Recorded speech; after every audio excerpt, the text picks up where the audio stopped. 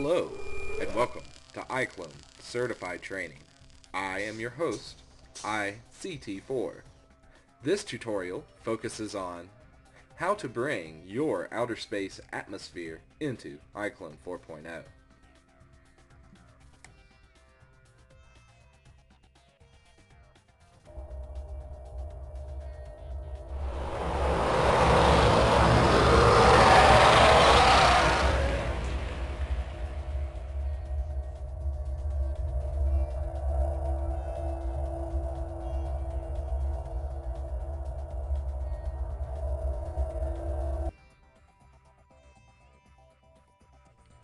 First, to bring your outer space atmosphere to your movie, go to the Set tab and add in either a sky dome or I like to use a simple 3D block, in this case, a container. Go to the Set tab, the Props button, your 3D blocks folder found in your Template tab in the Content Manager, and select a container. I'm going to use Bowl 01. I'm going to rotate my bowl around and scale it up quite a bit in the scene. And this is going to become my background. How I'm going to do this is I'm going to select my diffuse channel under the material and texture settings portion of the menu and select the open button with the folder icon. Then I'm going to navigate to an image I've already saved of a space background. Applying this to my diffuse channel, now I'm going to add in an extreme large scene camera into the scene and then zoom back with my camera. Then simply choose an angle. That looks pretty good. Now, to add other sci-fi elements into the scene, open 3D Exchange 4.0, where we will harvest a model to use in the scene. Select the Google 3D Warehouse icon from the top, or the G button, and type in your keyword search. For this, we're going to type in Jupiter. As you can see, many different options will come up in the search window. But we're going to take the second result from our search, from artist GHM Inc., and then select the Download Model button and choose Download for SketchUp 6. Select the Open option to import this into 3D Exchange. As you can see now, the model has been transported into the 3D Exchange viewport.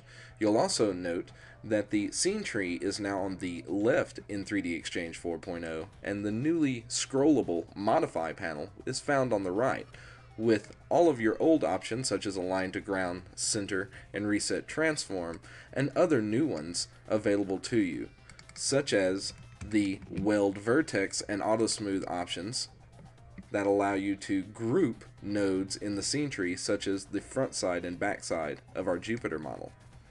We now can select the node at the top of the scene tree and then use the align to center button to make sure that our pivot point is located in the center of our object.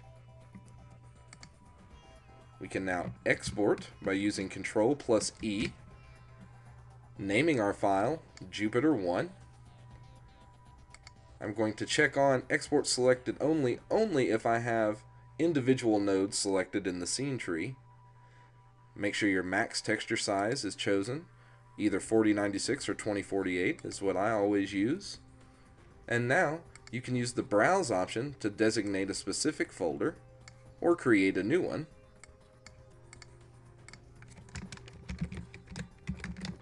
And then send the object to that folder. You can also use the button found beside the Browse button to automatically send directly to your custom props folder. Select OK, and then just wait for the successfully exported prompt to come up, and then select OK, and return to iClone. Once back inside the iClone stage, select your Set tab and Props once again, and then your Custom tab in the Content Manager, and navigate to your custom folder. In this case, my planets folder is my new folder in the library, and you can see our Jupiter 1 model is the only piece of content in that folder. Double click to apply this into the scene, and you may need to move your camera a little bit, and then we can also scale that up in our scene and pull the model into the shot using our move tools. Also, we want to make sure that cast shadow is checked off under the display portion of the modify panel. And then we can add a couple of glow maps to our scene to enhance the look of both our background and our new Jupiter model. I'm going to select my bowl prop in the scene manager and locate the material and texture settings portion of the menu. Select my diffuse map and bring the contrast up to make my sky appear darker and bring the brightness level down a bit. And also add a glow map by selecting the glow channel and the open icon once again. And in the iClone Glow template folder, I'm going to select the gold shine glow map and then bring my strength down to vary the amount of glow I'm getting in my background. I want just a little for my HDR effects to be added momentarily. I'm also going to then select my Jupiter model and then select your picker tool from the top and make sure to select the active texture.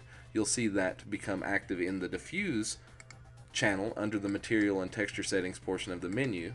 Then we can double click our glow channel once again and even add the exact same glow image to enhance the glow of our Jupiter planet. I'm going to bring my strength slider down to a very low setting. Now, if I select the stage tab from the top, the atmosphere button, and check on my HDR effect and tone map checkboxes, I can begin to add HDR effects to my scene to enhance the realism of my sci-fi effect. Increase the bloom scale or the Gaussian scale and even change the glare scale as well to add additional spectral enhancement to your scene. Be sure to catch part 2 of this tutorial to see how to add starships into your next sci-fi project. For more tips and great content, please be sure to visit www.reallusion.com.